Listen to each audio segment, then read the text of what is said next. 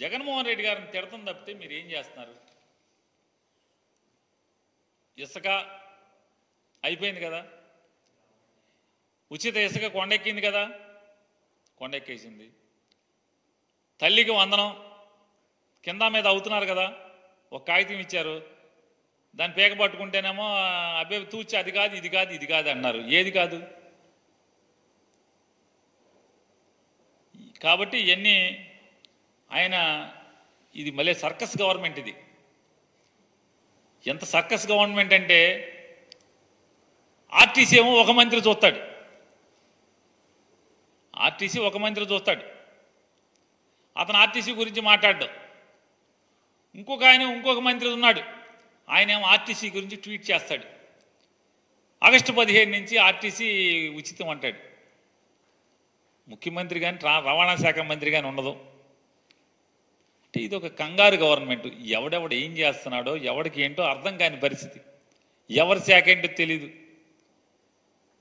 అట్లాగే జగన్మోహన్ రెడ్డి గారి ప్రభుత్వం అసైన్మెంట్ ల్యాండ్లని ఫ్రీహోల్డ్ పేరుతో దోచుకున్నారు. వేల ఎకరాలు దళితులు భూములు దోచుకున్నారని చెప్పి చంద్రబాబు నాయుడు గారు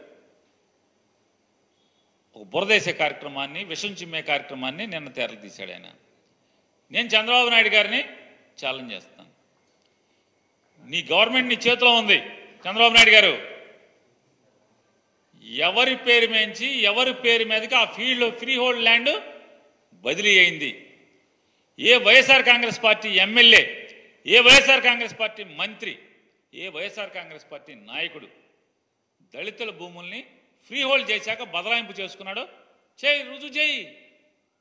నీకు చేతనైతే నీలో నిజాయితీ ఉంటే చంద్రబాబు నాయుడు గారు మీలో నిజాయితీ ఉంటే మీలో చిత్తశుద్ధి ఉంటే నిజంగా నువ్వు నలభై ఏళ్ళ ఇండస్ట్రీ పద్నాలుగేళ్ళ అనుభవం ఉన్నాడైతే జగన్మోహన్ రెడ్డి గారు ఏదైతే దళితులకి ఇరవై సంవత్సరాల భయపడి ఎవరైతే అనుభవిస్తున్నారో ప్రభుత్వ భూమిని అసైన్మెంట్ ద్వారా ఆ వంశీకులకి లేకపోతే వారి వారసులకి ఆ భూమిని సొంత ఆస్తిగా చేసినటువంటి జీవో ప్రకారం బదలాయి ఆ భూమి ఎక్కడైనా ఎవరి పేరు మీదైనా వైఎస్ఆర్ కాంగ్రెస్ పార్టీ ఎమ్మెల్యే పేరు మీద కానీ మంత్రి పేరు మీద కానీ బదలాయింపు జగన్మోహన్ రెడ్డి గారి పేరు మీద కానీ వాళ్ళ కుటుంబ సభ్యుల పేరు మీద కానీ బదలాయింపు అయిందా? చూపించు. ప్రభుత్వం మీదే కదా మీ చేతిలో ఉంది కదా.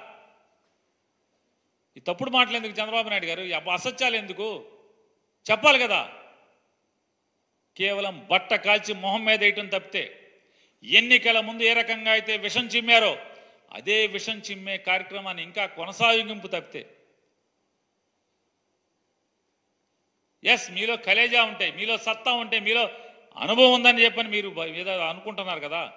మీ అనుభవం ఉందే నిజమైతే ఈ సమాజం ముందు పెట్టండి. జగన్మోహన్ రెడ్డి గారి ప్రభుత్వం ఏ దళితుల భూమి ఏ ఎమ్మెల్యే ఏ మంత్రి బదలాయించుకున్నాడో పెట్టాలి కదా. స్టాంప్స్ అండ్ రిజిస్ట్రేషన్ నీ దగ్గరే ఉంది కదా. నీ ప్రభుత్వమే కదా. రెవెన్యూ డిపార్ట్మెంట్ కూడా మీ ప్రభుత్వమే కదా. ఎందుకు చేయలేకపోతున్నారు? ఊరికే భూములు దోచుకున్నారు ఎందుకు మాట్లాడుతున్నారు? ఆధారాలతో సహా కదా మీరు చెప్పాల్సింది. ఎందుకు చెప్పలేకపోతున్నారు? ఏం చేయాలో అర్థం కాదు. అలవ కాని హామీలు. ఇదే మరి.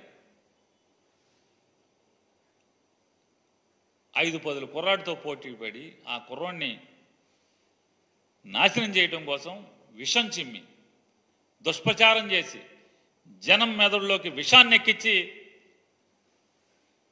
జనాల్ని లోబర్చుకోవటం కోసం అధికారాన్ని ఏదో రకంగా సంపాదించడమే